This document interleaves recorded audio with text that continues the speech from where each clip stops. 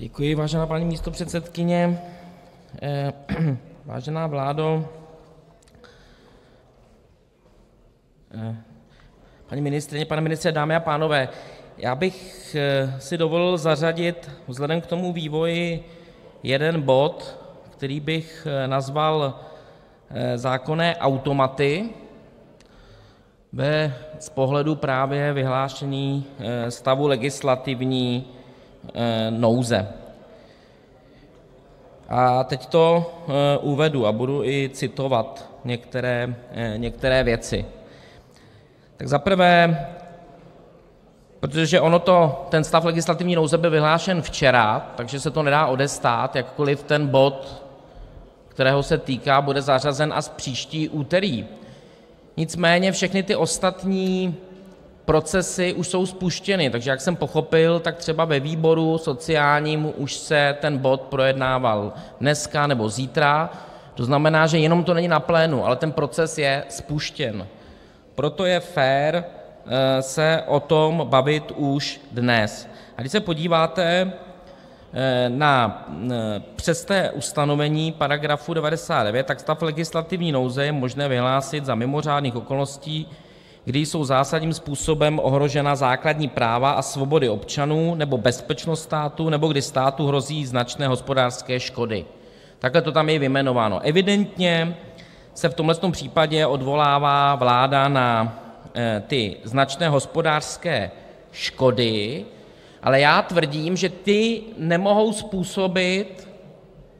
právě, a teď se k tomu dostávám, ty zákonné automaty, protože ten automat, který se spustí v momentě, kdy inflace překoná za nějaké období 5 %, tak se spustí automat, na základě kterého se spustí právě ta valorizace, ale tohleto přece nemůže znamenat vytváření nějaké hospodářské škody, tím méně když vláda s tímhletím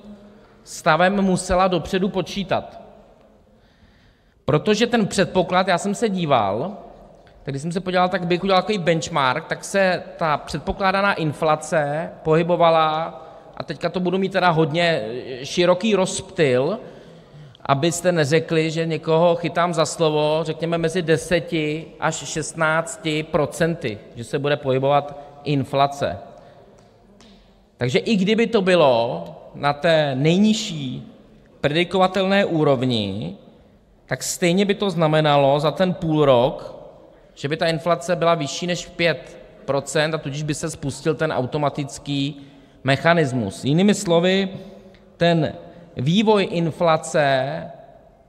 nepředpokládal to, že by se to nespustilo, je to přesně opačně, kolegyně, kolegové, vy jste přece dopředu museli vědět, že když ta inflace se pohybovala mezi 15 a více procenty loni, že teď ta inflace neklesne tak výrazně a tak rychle, aby se nespustil ten automat týkající se valorizace důchodů, takže moje jediné vysvětlení v tomhletom případě je, že byla volební kampaň a že prostě ve volbách jste vy ten, ve volbách a v té volební kampani byste nechtěli spustit ten klasický legislativní proces změny zákona, o který vám jde, a tam je to napsané úplně jasně, když se podíváte do důvodové zprávy, že pokud v období pro zjišťování růstu cen stanovené podle odstavce 4 dosáhne růst cen aspoň 5 %, posledním měsícem období pro zjišťování růstu byl v tomhletom případě červen 2002, to znamená, že vlastně ten další řádný termín je od ledna 2023 zase do června roku 2023, to je neustále dokola, jinými slovy, a já už jsem byl s vašimi kolegy v televizních debatách, kdybyste tady spustili klasický legislativní proces, můžeme se o tom bavit, a v té chvíli byste, ano, s kolegou Burešem jsem byl,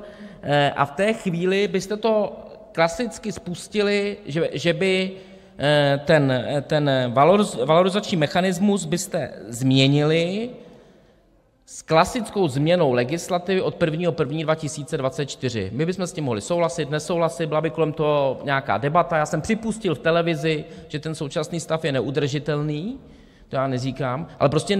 byl by to klasické projednání. To, co se spustilo v této chvíli, ale je, že už měníte ty pravidla uprostřed hry, ale právě proto jsou tam v těch zákonech ty automaty. A já bych poprosil, abychom se o těch automatech, protože ono se to netýká jenom valorizace důchodů, my se o těch automatech bavíme třeba u platů ústavních činitelů. Tam neustále to točíme dokola kolem automatů, jak to má být navázáno na co například. Právě proto, protože ty automaty mají svůj půvab. Například u těch platů ústavních činitelů ten automat má půvab, aby někdo těsně před volbami si najednou nezačal snižovat plat poslance a to byl takový ten rizí, by to byl rizí populismus. V momentě, kdy to navážeme na automat, například já jsem vždycky navrhoval růst či pokles HDP,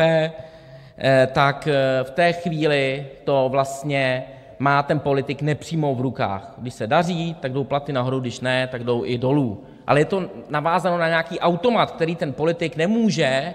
aby někoho na poslední chvíli oslovil, nemůže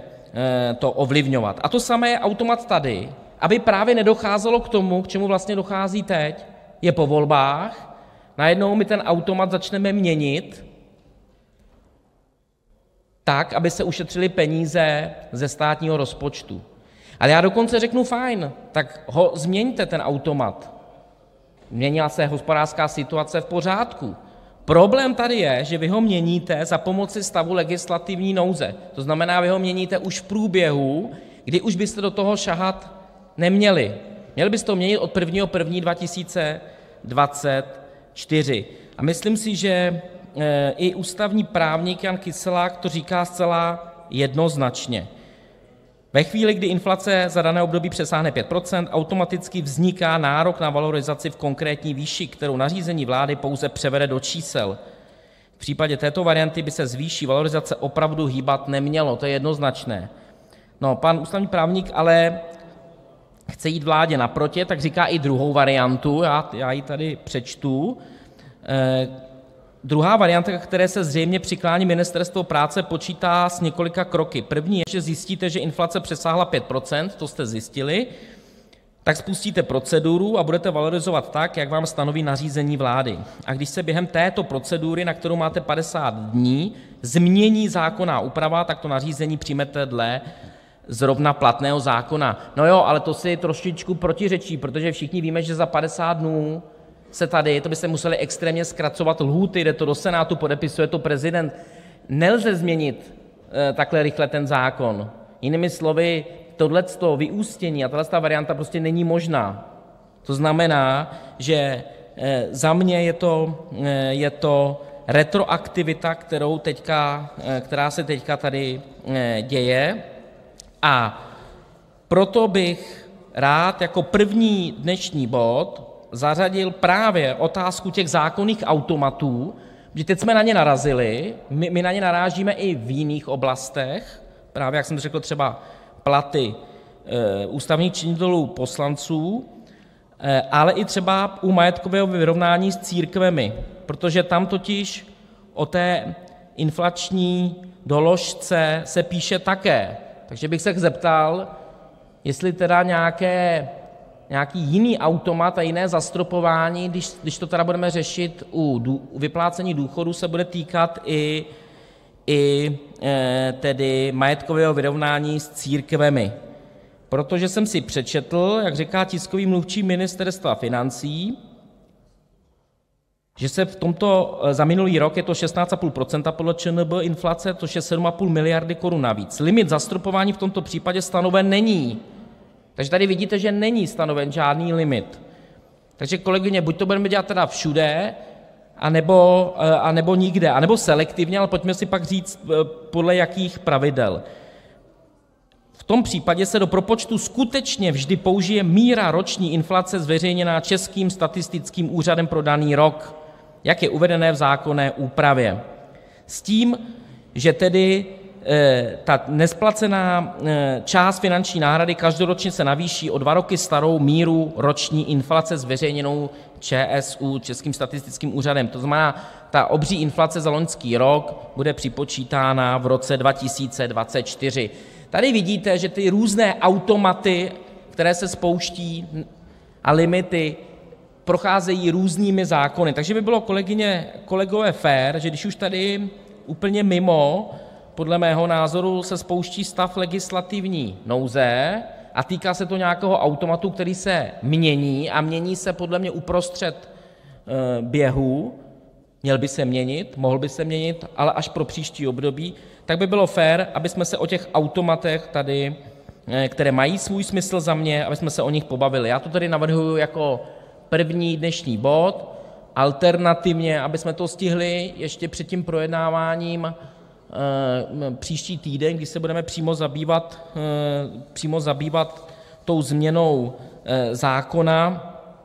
o důchodovém pojištění, tak bych to navrhl ještě alternativně v pátek jako první bod, tento pátek. Děkuji za zařazení.